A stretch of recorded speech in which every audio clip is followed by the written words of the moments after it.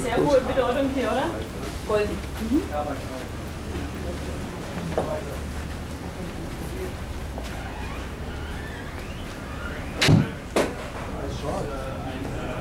So, hier sind wir im Golfbereich, wie man unschwer erkennen kann. Ist natürlich für die Gäste, die gerne äh, trotzdem an den Abschlag üben möchten, auch wenn sie auf hoher See sind.